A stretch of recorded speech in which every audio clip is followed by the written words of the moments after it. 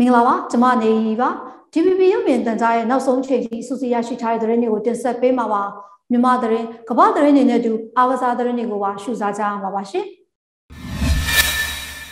ကေစီရဟရင်ဝေယူရာနဲ့ပတ်သက်ပြီးနိုင်ငံတော်သမ္မတဦးဝင်းမြင့်နဲ့ နိုင်ငံတော်ရဲ့တိုင်ပင်ခံပုဂ္ဂိုလ်ဒေါ်ဆန်းစုကြည်တို့ကိုစစ်ကောင်စီကအဂတိမှုငါးမှုနဲ့တရားစွဲဆိုထားတဲ့မှုတွေကိုဇန်နဝါရီလ22ရက်နေ့မှာဆွဆွဲခံရသူရဲ့ရှင်းတွေကကိုယ်စားလှယ်လွဲစာရှင်းနေပါဝါတင်ခဲ့တယ်လို့တရားရုံးနဲ့နှိစက်သူတွေစီကသိရပါတယ်။တရားရုံးနဲ့နှိစက်သူတဦးပြောတာကတော့အားလုံးပေါင်း10ယောက်တင်လိုက်တယ်။ရန်ကုန်ကရှင်းတွေက9ယောက်တစ်ဖွဲ့နေပြည်တော်ကရှင်းနေ3ယောက်တစ်ဖွဲ့လို့ပြောပါတယ်။ သဘောဘေးအန္တရာယ်ကာကွယ်ရေးလုပ်ငန်းတွေဆောင်ရွက်ကြမှာအသုံးပြုဖို့2021ခုနှစ်ကရဟရင်တစင်းဝယ်ယူအသုံးပြုတာတက်တန်းတိုးတာပြုပြင်ထိန်းသိမ်းတာတွေနဲ့ပတ်သက်ပြီးအဂရိလိုက်စားမှုတိုက်ဖြတ်ရေးဥပဒေပုံမှန်55နဲ့စစ်ကောင်စီကထပ်မံတရားစွဲဆိုခဲ့တာပါနိုင်ငံတော်တိုင်ပင်ခံပုဂ္ဂိုလ်တော်ဆန်းစုကြည်အပေါ်စစ်ကောင်စီကဆွဲဆိုထားတဲ့အမှုတွေကငါးမှုအတွက်ထောင်ဒဏ်6နှစ်ပြည်ဒဏ်ချမှတ်ထားပြီလည်းဖြစ်ပါတယ်ရှင်။ 88မျိုးဆက်ကျောင်းသားခေါင်းဆောင်တူဖြစ်တဲ့ဦးကျင်မီခေါ်ဦးကျော်မင်းယူနဲ့ NLD လွှတ်တော်ကိုယ်စားလှယ်ဟောင်းဦးဖြိုးစရာတော်တို့ကိုစစ်ကောင်စီကအကြမ်းဖက်မှုနဲ့ဆွဆွဲပြီးတေတံချမှတ်လိုက်ကြောင်းစစ်တပ်ပိုင်းမြောက်ရီရုတ်တံကဇန်နဝါရီလ22ရက်နေ့မှာကြေညာလိုက်ပါတယ်။ ဦးကျင်မီကိုစစ်ကောင်စီတပ်တွေကအောက်တိုဘာလ23ရက်ကတကုံမြို့တစ်မြောက်ပိုင်းမှာဖမ်းဆီးသွားတာဖြစ်ပြီးဦးဖြိုးစရာတော်တော့တကုံမြို့တစ်စိတ်ကံမြို့နယ်ရတနာနှင်းစီအရာမှာနိုဝါလာ20ရက်နေ့ကဖမ်းဆီးခဲ့တာပါသူတို့နှစ်ဦးကိုစစ်ခုံရုံးဖွဲ့စစ်ဆေးပြီးအကြမ်းဖက်မှုတိုက်ဖျက်ရေးဥပဒေပုံမှန်49ကကြီး90ဇာမြင့်ဆွဲနဲ့90ညရိုးရဇန်နဝါရီလ22ရက်နေ့မှာတေတံအမိန့်ချမှတ်လိုက်တယ်လို့ကြေညာခဲ့တာပါ ဦးဖြိုးစရာတော့ဟာနေမှာလက်နက်မျိုးစုံသိမ်းဆည်းထားတာ CRPH NUG PDF Moonlight Operation အဖွဲ့တွေနဲ့ Zoom meeting ပြုလုပ်ခဲ့တာဦးကျင်မီဟာလည်း CRPH NUG နဲ့ PDF တွေကိုလက်နက်ခဲယမ်းထောက်ပံ့ဖို့တကုံမြို့သစ်မြောက်ပိုင်းမြို့နယ်ပင်လုံအေယာမှာရှိတဲ့နေမှာလက်နက်တွေကိုတိုးဝက်သိမ်းဆည်းထားတဲ့ဆိုပြီးဆွဆွဲဖမ်းဆီးခဲ့တာဖြစ်ပါတယ်။ စစ်ကောင်စီရဲ့ဆွဆွဲချက်တွေကိုဦးကျင်မီနဲ့ဦးဖြိုးစရာတော်တို့ဘကခြေပပြောဆိုဝင်မရသလိုတရားဥပဒေကြောင်းရလဲခုခံခြေပဝင်မရပဲပြည်တံချမှတ်ခဲ့တာဖြစ်ပါတယ်ရှင်စစ်အာဏာရှင်တော်လှန်ရေးຫນွေဦးတော်လှန်ရေးကာလအတွင်းကြဆုံးခဲ့ရသူစုစုပေါင်း1488ဦးရှိခဲ့ပြီလို့နိုင်ငံရေးအကျဉ်းသားများကူညီဆောင်ရှောက်ရေးအသင်း AAPP ကမနေ့ကသတင်းထုတ်ပြန်ပါတယ်။ ဖေဖော်ဝါရီလ1ရက်နေ့ကနေဇန်နဝါရီလ22ရက်နေ့ထိဖမ်းဆီးချုံနှောင်ခံထားရသူစုစုပေါင်းဟာ8916ဦးရှိပြီး635ဦးမှာထောင်ဒဏ်ချမှတ်ခံထားရတယ်လို့ ABB ကဆိုပါတယ်အသက်18နှစ်ယောက်ကလေး2ယောက်အပါအဝင်43ဦးကတော့တေတံချမှတ်ခံထားရတာပါမြက်ွယ်တေတံချမှတ်ခံထားရသူ39ဦးအပါအဝင်တေတံချမှတ်ခံထားသူစုစုပေါင်း82ဦးရှိပါတယ်။ 138ဦးကမျက်ကွယ်ပြစ်ဒဏ်ချမှတ်ခံထားရပြီးဖမ်းဝရမ်းထုတ်ခံထားရတာကြောင့်တင်းရှောင်နေရသူကတော့1966ဦးရဲ့အမည်စာရင်းကိုလည်းဖော်ပြထားပါရရှင်။မွန်ပြည်နယ်အတွင်းကကန်ဒီကန်ဝေးငါးဖမ်းလေတွေဟာ73စီဈေးနှုန်းဇက်တိုက်မြင့်တက်လာတာငါအထီမီနေလာတဲ့အတွက်ကြောင့်လုပ်ငန်းတွေစတင်ရပ်နားလာရတယ်လို့ငါလုပ်ငန်းရှင်တွေကပြောပါတယ်။ခိုင်ပန်းသူကပေးပို့ထားပါရှင်။ မွန်ပြည်နယ်အတွင်းကကန်ဒီကန်ဝေးငါးဖမ်းလုပ်ငန်းတွေဟာစစ်တပ်အာဏာသိမ်းပြီးနောက်တခြားလုပ်ငန်းတွေနီးတူတက်ရောက်မှုကြီးမားနေတာပါကန်နီကန်ဝေးကငါးဖမ်းလုပ်ငန်းတွေဟာစစ်တပ်အာဏာသိမ်းတဲ့17လကျော်ကာလအတွင်းမှာ73စီစီနှုန်းစက်တိုင်မြင့်တက်လာတာတွေငါးဖမ်းဆက်ဆက်ပစ္စည်းစီနှုန်းနှစ်ဆနီးပါးမြင့်တက်လာတာထုတ်လုပ်မှုကုန်ကျစရိတ်ကြီးမြင့်နေတဲ့အတွက်ကြောင့်အခက်အခဲမျိုးစုံနဲ့ရင်ဆိုင်နေရတာပါ။ အခက်အခဲမျိုးစုံနဲ့ရင်ဆိုင်နေရတဲ့ကန်ဒီကန်ဝေးကငါးဖမ်းလုပ်ငန်းတွေဟာအခုခါမှာတော့ငါးအထိမိနဲလာတဲ့အတွက်ကြောင့်ငါးဖမ်းလေတွေစတင်ရနာလာကြတယ်လို့ငါးလုပ်ငန်းရှင်တူကပြောပါတယ်။ငါးရဲဆိုတာကလည်းလေထိမိမကောင်းတဲ့ကောင်တို့ဟိုချီကြီးတွေတက်လို့ပါလို့ညာလို့ဤတာချီကြီးတက်တော့လည်းငါးမထိတော့ခက်ကြုံဒီချီကြီးကပထမ28 29ပဲညာနေပြီးတော့30ဖြစ်သွားတာပါတက်ပြီးပေါ့။ကြိုက်လည်းမကြိုက်ပါဘူး။မကြိုက်ဘူးဒီ ပြောမယ်ဆိုအလုပ်သမားတွေမရှိရှင်သားလေးတွေတာလို့ပါဦးညာဦးရအောင်ဒီလောက်ပါပဲငါးလုပ်ငန်းရှင်တွေဟာ73စီစင်းလုံးကြီးမြင့်လာမှုကိုတောက်မခံနိုင်တော့တဲ့အတွက်ကြောင့်ပင်လယ်ထဲကအစီအသုံးများတဲ့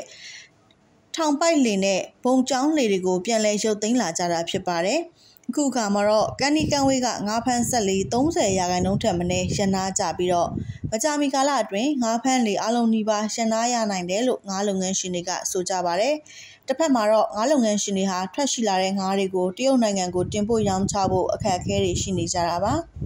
။ export ကြတော့လေ exporter တွေကဟိုတရုတ်ကအရန်ဟိုတွေဖြစ်နေတယ်တရုတ်ကမဝယ်တာတော့မဝယ်တယ်ဒါပေမဲ့တို့ EU တို့ဘာတို့လို့စီကံသတ်မှတ်ချက်တွေအရင်တင်းကျပ်နေတယ် ကိုဗစ်ကိစ္စနဲ့ပတ်သက်ပြီးတော့စီကံသတ်မှတ်ချက်တွေ အရင်ကျပ်တယ်ဆိုတချို့တွေက ကိုယ့်စီကဟိုပြန်လာတဲ့ ကွန်တိန်နာတွေလည်းပြန်လာတယ် ပြန်လာရင်တည်ပြီးခြေစကားနဲ့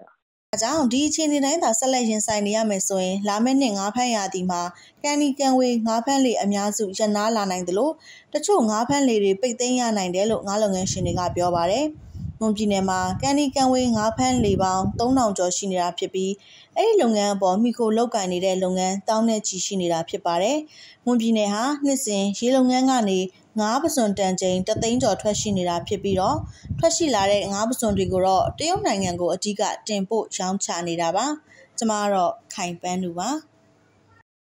တနင်္လာရီတိုင်းလောင်းလုံးမြို့နယ်ကရင်ကြီးကမ်ပဏီကျွော်နီကဖြူစောတီစခန်းနှစ်ခုကိုလောင်းလုံးမြို့နယ်ပြည်သူ့ကာကွယ်တပ်ဖွဲ့နဲ့တဝဲပြည်သူ့ကာကွယ်တပ်ဖွဲ့ DDT တပ်ခွဲတို့ပူးပေါင်းပြီးဇန်နဝါရီလ20ရက်နေ့ည7:00နာရီကျော်ကဝေရောက်စီးနှင်းပစ်ခတ်ခဲ့ပါတယ်။အဲလိုဝေရောက်စီးနှင်းပစ်ခတ်ချိန်မှာအပြန်အလှန်ပစ်ခတ်မှုဖြစ်ပွားခဲ့ပြီးဖြူစောတီခေါင်းဆောင်နှစ်ယောက်နဲ့မိသားစုဝင်တွေကိုပါဖမ်းဆီးရမိခဲ့တယ်လို့လောင်းလုံးမြို့နယ်ပြည်သူ့ကာကွယ်တပ်ဖွဲ့ကတာဝန်ရှိသူကပြောပါတယ်။ ဖြူစောတိစခန်းကလက်လုံတနက်6လက်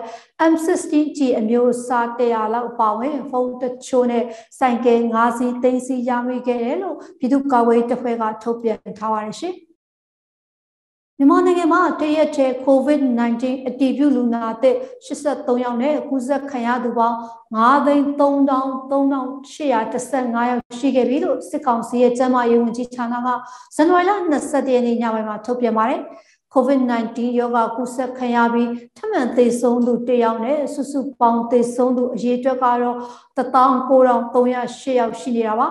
ပြီးခဲ့တဲ့2021ခုနှစ်ဒီဇင်ဘာလ28ရက်တုန်းကတော့ယူအေနိုင်ငံဒူဘိုင်းမြို့ကနေကေဆယ်ရေးလေယာဉ်နဲ့ပြန်လည်ဝင်ရောက်လာသူမြန်မာနိုင်ငံသား၄ယောက်မှာအိုမီခရွန်ရောဂါပိုးတွေ့ရှိရတယ်လို့ကနဦးထုတ်ပြန်ထားခဲ့တာပါ။ လက်တလုံးမှာတော့မြန်မာနိုင်ငံမှာ Omicron ရောဂါပိုးတွေ့လူနာ146ယောက်ထိရှိလာခဲ့ပြီဖြစ်တယ်လို့လည်းစစ်ကောင်စီရဲ့ကျန်းမာရေးဝန်ကြီးဌာနကထုတ်ပြန်ထားပါတယ်။တရားဝင်ကြောက်စိန်တူးဖော်တဲ့လုပ်ငန်းတွေကနေဥရုချောင်းအတွင်းရွှွနွန်တွေပိတ်နေတာကြောင့်ဒေသခံတွေဟာကိုတူကိုထားလှုပ်ဆောင်နေရပါတယ်။ဒီသတင်းကိုတော့မင်းညိုကပေးပို့ထားတာပါရှင်။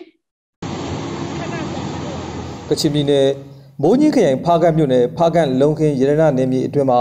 တရားမဝင်ကြောက်စိမ့်တူးဖော်ရေးလုပ်ငန်းတွေလှုပ်ဆောင်နေကြပါတယ်။အဲဒီလိုတူးဖော်မှုကနေထွက်ပေါ်လာတဲ့မြေစာတွေကိုစီကံမရှိပြစ်ပုံနေတာကြောင့်နွန်ကန်ကြီးဖြစ်ပေါ်လာပါတယ်။အခုအခါနွန်ကန်ကြီးပြိုကျလာကဥယူချောင်းရဲ့စီစဉ်မှုပိတ်ပြီးအန်ရဖြစ်လာမှာကိုစိုးရိမ်နေရတာကြောင့်ကိုတူကိုရပြုလုပ်နေရတယ်လို့ဒေသခံတယောက်ကပြောပါတယ်။နွန်ကန်ပြိုကျတဲ့အပိုင်းကတော့နွန်ကန်ကအစကကျွန်တော်တို့ဒီဘက်ဒီမှာရေကန်ကြီးညုံနေနဲ့ပြင်းနေတယ်အဲ့အထက်ကနေပြီးတော့မြေစာကို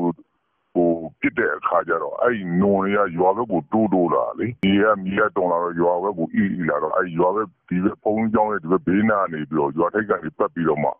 လွှဲပြီးဖောက်လိုက်တဲ့ဥစ္စာ။စက်တွေနဲ့ပေါ့။အဲဒီဥစ္စာကိုလည်းရွာပေါ်ကိုကျမှာစိုးလို့စက်တွေနဲ့ဖောက်တယ်။ဖောက်တဲ့အခါကျတော့တဖြည်းဖြည်းနဲ့အိပြီးတော့မှအဲဒီကနွံကဝေါဆိုဆင်းလာခဲ့တာပေါ့။ဆင်းလာတဲ့အခါကျတော့ဥရုချောင်းကိုသွားပြီးတော့နည်းနည်းပိတ်ဆို့မှုလေးဖြစ်သွားတာပေါ့။ပိတ်ဆို့မှုဖြစ်တဲ့အချိန်မှာအဲဒီဥစ္စာကိုတော့အကုန်လုံး